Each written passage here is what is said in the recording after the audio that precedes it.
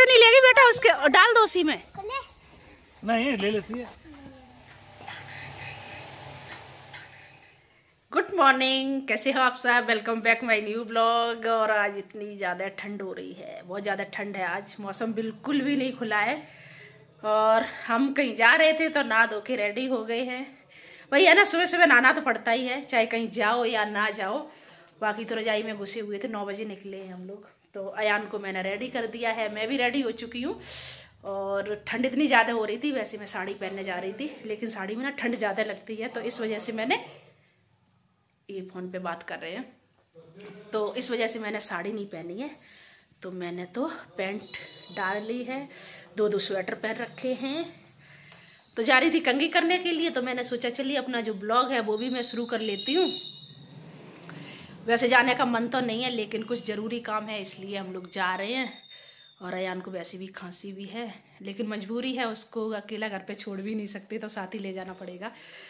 तो चलिए, फ़िलहाल तो रेडी हो चुके हैं। आनो!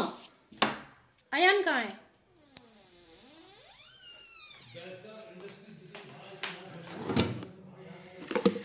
मालूम क्या होता है, एक तो मैं ना टोपा नहीं लगा पाती हूँ। अगर टोपा लगा लूँ ना तो बाल सारे ऐसे इकट्ठे हो जाते हैं तो मैं टोपा भी नहीं लगा सकती। लेकिन हाँ मैं स्टॉल स्टॉल डाल लूँगी। तो उससे क्या होगा, कानों में सर्दी नहीं लगेगी। तो आज दो दिन हो गए हैं लगातार। कल मैंने कोई ब्लॉग नहीं बनाया था। कल भी मैं गई हुई थी, कल मैं सुबह गई थी करीब सुबह नहीं गई थी, करीब मैं गई थी ग्यारह बजे के टाइम गई थी और शाम को लौट के आए थे। तो कल भी मैंने कोई ब्लॉग नहीं बनाया था। आया मेरा। रेडी हो चुका है, भाग गया है। आओ तो बात तो सुनो। क्या हुआ आज? इसको मैंने ऐसे कस रखा है।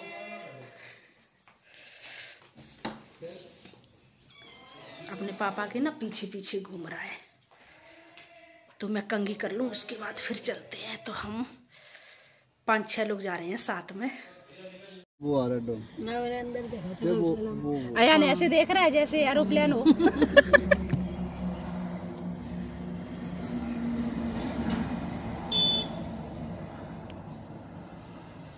ये आ गया डाउन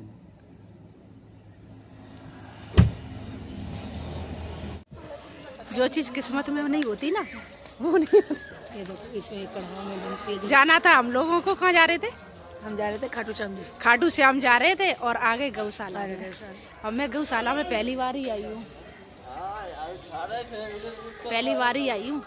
आप तो आते रहते हो। मैं काटती हूँ। इतनी बड़ी बड़ी कढ़ाई। ये जब क्या बनता है इसमें? उसके ओटी वगैरह बनती है उसके गाय दलिया वगैरह बनता है। दलिया है गऊ जैसे बच्चे पैदा करती है तो उसके लिए अच्छा। हाँ जो जो दलिया बना के खिलाते हैं। अलग अलग वो सामान मिलता है। काफ़ी बड़ी बड़ी आते रहो तो पता होता है हाँ। अच्छा यहाँ पे गुड़ भी मिलता है? हाँ गुड़ भी मिलता है गुड़ पीछे मिलेगा। चारा वहाँ से मिलेगा। जो लोग दान करने आते हैं तो वो लेते आके है ना? चलो अनु गया गुड़ लेने के लिए। ले आए तो आज मैं अभी गाय को खिलाऊँगी। लिखा भी है है ना? गौ माता का मुँह मीठा करो हाँ। आज जैसे कोई लोग बर्थडे पे आते हैं कोई अपनी सालगिरह सालगिरह। मनाते हैं तो दान करने आते हैं आप।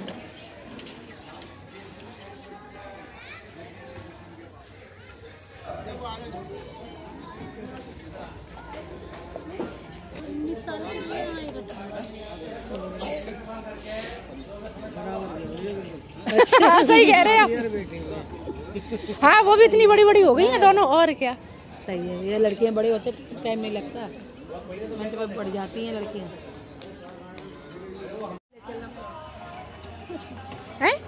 मैं कहा जहाँ नादी- नंदी महाराज हों और गऊ छोटे बच्चे हों। हाँ वही पास में। हाँ।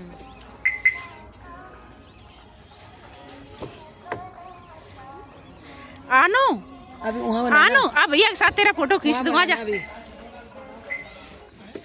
हाँ आगे हैं जहाँ मर्ज़ी आए वहाँ डालो। आ जा अनु। अनु उधर आ गुड़ खिला के आ जा गुड़ दे बेटा गुड़ दो। आ जाओ जाओ उधर पारो बाजू खिला खिला खिलाओ अनु खिला देगा। आज गौ माता की सेवा करने आया अनु। ऐसे नहीं लेगी बेटा उसके डाल दो उसी में। नहीं ले लेती है। अनु नहीं खिला पाएगा अपने हाथ से। खिलाओ खिलाओ खिलाओ खिलाओ। ले। छोटे बच्चों को दे दो इधर सब एक ही को खिला दोगे क्या? इधर ही खिला दो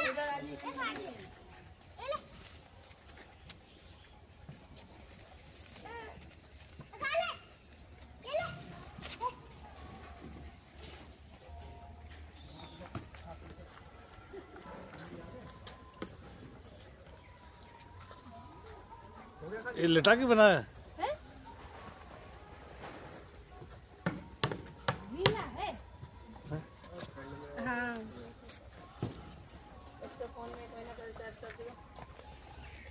कोयरे की वजह से गीला हो गया है है ना?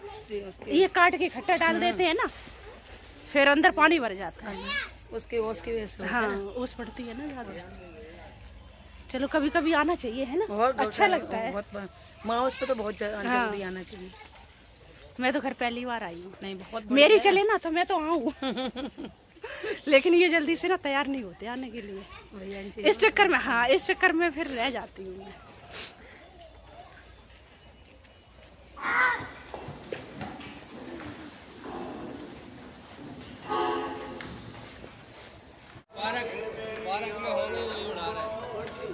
आ जाओ।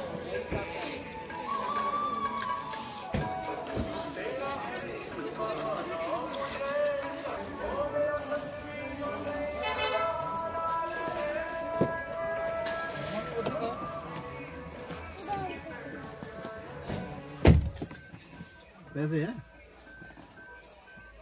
एक किलो लिया थे